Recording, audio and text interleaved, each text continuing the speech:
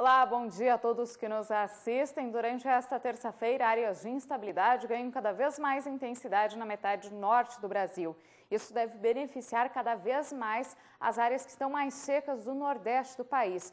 Nestas áreas há um grande déficit hídrico. A gente observa aqui toda esta área vermelha do mapa com índices de umidade no solo abaixo dos 10%. A mesma situação a gente observa aqui sobre o norte mineiro, partes do Espírito Santo e também no extremo norte do país, além de algumas áreas pontuais de Mato Grosso e Mato Grosso Sul. Mas em grande parte do centro-sul e também na região norte, os índices de umidade no solo estão bastante elevados. Em toda esta área rosa do mapa, o índice de umidade no solo chega até 100%. A tendência agora para os próximos cinco dias é que a chuva ganhe cada vez mais intensidade na metade norte do país. Isso deve beneficiar as áreas mais secas entre Minas Gerais, Espírito Santo e Nordeste. E a chuva deve diminuir cada vez mais na metade sul, principalmente entre a região sul, São Paulo e Mato Grosso Sul. A chuva será muito isolada e de baixo acumulado. Isso deve beneficiar principalmente a colheita da soja no Paraná e Mato Grosso Sul, também a colheita do milho no Rio Grande do Sul, mas por outro lado vai provocar declínio da umidade no solo e risco para estiagens regionalizadas, especialmente no interior gaúcho.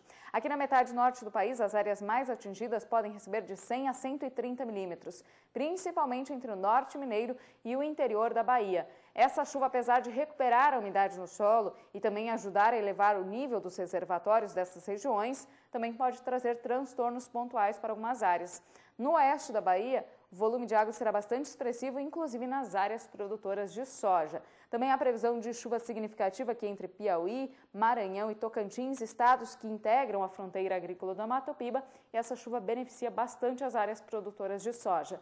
No segundo período, a gente observa que a chuva deve aumentar ainda mais aqui entre o norte e o nordeste. No decorrer desta próxima semana, então, o volume de água intenso chega até mesmo aqui sobre partes do norte do Piauí, Ceará, oeste de Pernambuco e oeste da Paraíba. Mais uma vez, algumas áreas podem receber 100 milímetros e é uma chuva que traz potencial para transtornos. Nas demais áreas da fronteira agrícola do Mato Piba pode chover até 70 milímetros e chove forte também entre Mato Grosso e partes da região norte. Entre o norte Mato Grossense e o norte de Goiás, o excesso de umidade pode ser um problema para as atividades no campo tanto para a colheita da soja, como também para o plantio do milho segunda safra. Enquanto isso, aqui na metade sul do Brasil, as atividades no campo devem avançar bem, porque a previsão é de pouca chuva e alternada com períodos maiores de tempo seco.